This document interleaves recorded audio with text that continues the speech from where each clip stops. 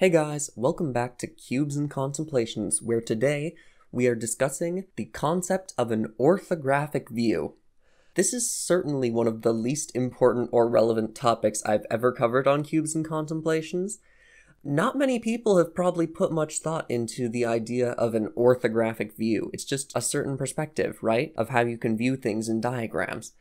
As I thought about an orthographic view more and more when I was really, really bored running, I found it was like an interesting rabbit hole that keeps getting deeper and warmer and more comfortable the further you get. So it's like, what I'm trying to say is that this is an interesting thought experiment sort of deal, rather than just talking about random garbage for 14 minutes. So, for starters, what in the world am I talking about? Well, an orthographic view is a view of something where there is no depth or perspective. Everything, no matter how far away it is from the camera, is the same size when you draw it. That actually probably sounds really hard to imagine because everything we see is with perspective. It's easier to imagine if we use Minecraft blocks, funnily enough. So if we build a staircase that is going up and away from where we are currently standing and looked at it head on, the higher stairs appear smaller and the lower stairs look larger. That's because our view has perspective, so further things look smaller. But an orthographic view of this exact same staircase would have each stair being the exact same dimensions, no matter how far they are away.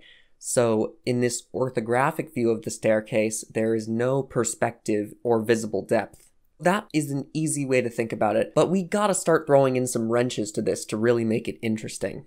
An orthographic view is easy to imagine looking straight on to a straight surface, like those stairs. But what does it look like when we're coming in from another angle, say a 45 degree angle of the same staircase? You should be able to tell that the side of the object in the orthographic view further from the camera is further from the camera, but our definition has said that there is no depth or perspective, so how are we actually going to demonstrate that? Fortunately, this is the point where a simple rendering program can actually do the work for us. I'm going to show a view of a Minecraft model from the program Blockbench. Here it is with perspective, the normal way you would see it in-game, and here it is with orthographic view. It's a diagonal angle, but we're seeing it orthographically.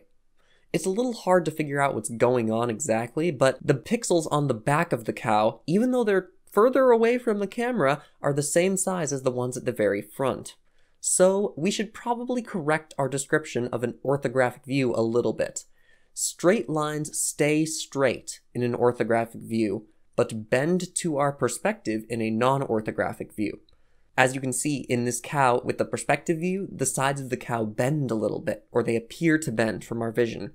But in the orthographic cow, the sides are perfectly straight all the way through. But what is especially hard to visualize for me is how an orthographic view looks in motion. Luckily, this rendering program Blockbench can also rotate with the orthographic view enabled.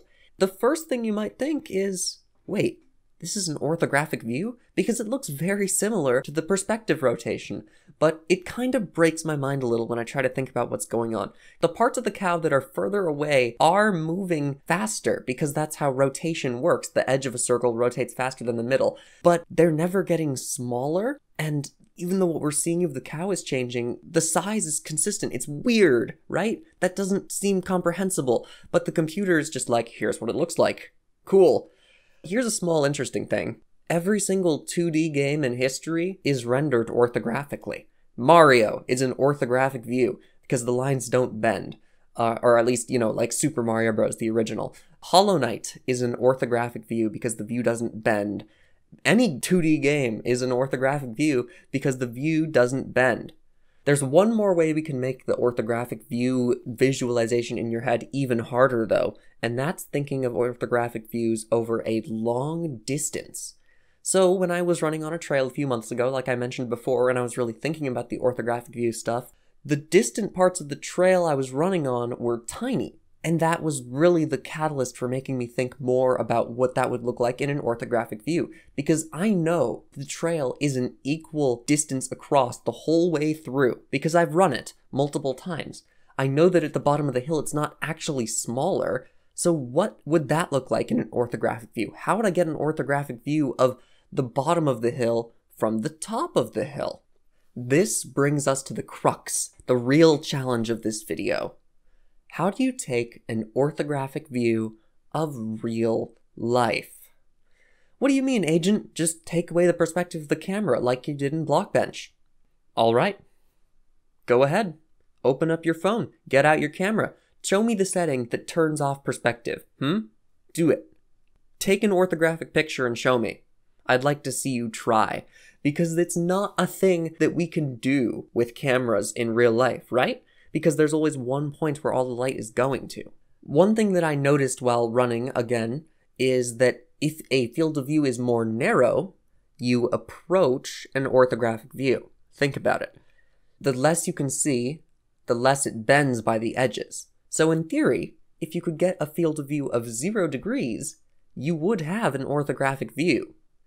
The issue is you can't. You can't have a field of view of just zero degrees because then you also lose all your field of vision. You can't see anything. It might be an orthographic view, but it's an orthographic view of nothing.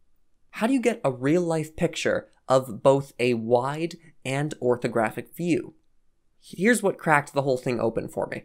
Think of how light approaches your eyeball or even just think of why we have an eyeball and not like an eye tablet. The circular shape of our eyes allow us to see light coming in from multiple directions at once. We see stuff to the right of us, we see stuff to the left of us, we see stuff above us and below us. And that's because the ball of the eye is able to get light from multiple directions. Camera lenses also work the same way. It's a circular lens because it takes in light coming from many angles this is my assumption of how cameras work. It takes the light into the circular lens, compresses it into the tiny little actual light receptacle on the camera, and then saves that as a digital picture. If we made a camera lens flat, we're not really solving the issue. There's still that one little bit where all the compressed light has to go at the end of the day. So let's take yet another little detour. You know those things they have at stores where you can stick your hand into like a wall of plastic sticks and then see the shape of your hand on the other side of the wall of plastic sticks? There's a picture on screen. I have no idea what this is called, and I really struggled to find a picture, but I did find one eventually. The hand that those plastic rods forms is orthographic. No matter how long those plastic rods are, when you put your hand in them on one side, it will look the same on the other side. You can make the rods as long as you want. Now let's look at the properties of this thing. Every rod in this situation is parallel. Every rod is equally spaced. Every rod is not equally distant from the source. Maybe you figured out where I'm going with this now. Instead of plastic sticks, we can imagine those parallel lines that are equally spaced as photons, beams of light. If we shoot out a square of parallel beams of light that are equidistant, or I guess receive beams of light in a parallel grid, we would get an orthographic view of real life. Here's the real issue. Every single photon, every beam of light needs its own little recipient thing, the light receiver, to get the view that's coming straight on at that angle. Photons are impossibly small, to put it lightly, and we could not physically create a lens small enough to capture every photon. So you can't make a true orthographic view of real life, but you could probably get something approximating it by making a grid of cameras and only using the very center of the picture of each camera and putting them together. That would be the closest you could get to orthographic view practically. The reason that computers can do it so easily is because they only need to send one little beam, one plastic stick from each pixel on your screen. Below that, it doesn't matter. That's a manageable amount for a computer to do. By sending equally spaced, parallel beams of light at an object, we can get depth without perspective, which was the real issue of our original definition of an orthographic view. We said depth was not allowed, but it's totally necessary for a complex 3D shape to make sense from any view besides the side.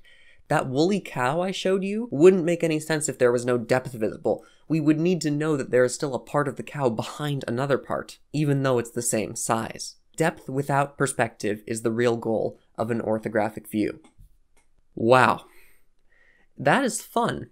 I love going off on long, weird, interesting tangents like these, especially about things that I feel like no one would ever talk about because there is no practical application to this unless you're like a programmer or a physicist, perhaps. Um, I'm neither. I'm just a person who's making lots of assumptions in one video and telling them all to people. This could be mass misinformation, but that's how I've thought about what an orthographic view is. It's like a wall of parallel light that hits something so you can get depth of that perspective. And that's how I've kind of reconciled the idea of an orthographic view to work in real life. Did this video make any sense? Do you get what I was going on about at the end about how we can't have a true orthographic view because photons are too small? Tell me in the comments below. But for now, I do want to tell you all Thanks for watching, and I will see you later.